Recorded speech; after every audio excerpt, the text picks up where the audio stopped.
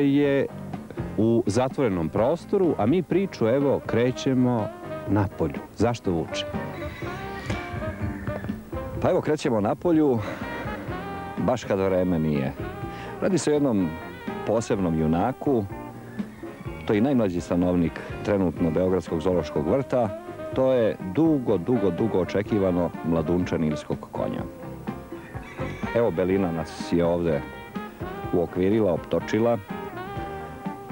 Snimit ćemo ovu scenu ovde, a posle, ako budemo imali sreće, snimit ćemo i njega u bazenu pored majke.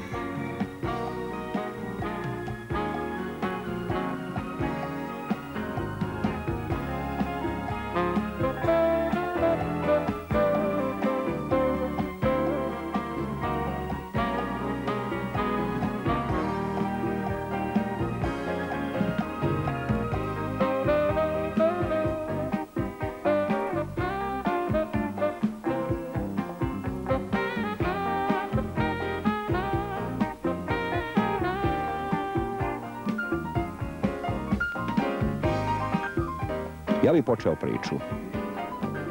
Mi smo u ovoj emisiji napravili jednu priču o ljubavi između Niđe, jednog velikog kolosa, nilskog konja od tri tone, baš kapitalnog primjerka i njegove Dragane Berte, ženke koja je Austrijanka, koja je došla pre četiri godine u Beogradski zoološki vrt.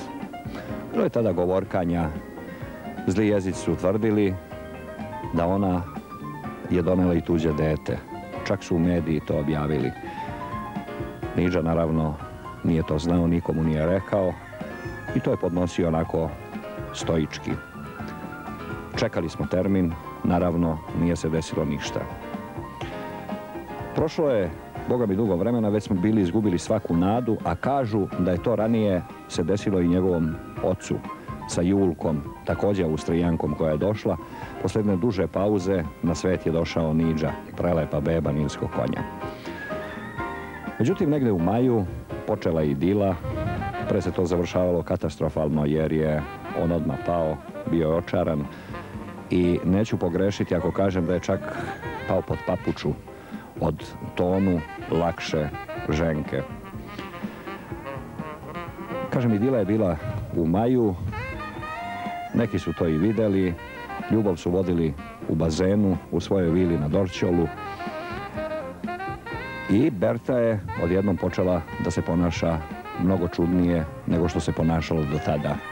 Više nije htjela u svom prisustvu da vidi Niđu, postala je agresivna, ako bi on pokazao neki, eto tako, znak nežnosti, sve to završavalo dosta bolno, ona je sa svojim kao vila, vile opakim zubima parala njegovu kožu, mi smo ga lečili. Počela je čudno da se ponaša i prema hraniocima. Bio je to pouzdan znak da je gravidna. Bliski konji inače nose bebe e, osam meseci. I negde već u drugom delu trudnoće stomak je počeo da, da raste, sise su nabrekle već pred kraj, mi smo svakog dana čekali kad će da se to desi. I naravno jedne večeri u tri po ponoći naš noćni čuvar koji inače je pesnik imamo i takve zaposlene ovde student slavistike vrlo sažeto britko opisao mi je mladunče. Kaže direktore pliva u bazenu i mrda ušima Bila je to priča o mladuncu Nilskog konja. E, ima tu dosta posla. Da se odredi pol, da se odredi težina, dužina, visina i mladunče još nema ime. Dakle, posla će biti i biti oko nove zvezde iz Zološkog vrta.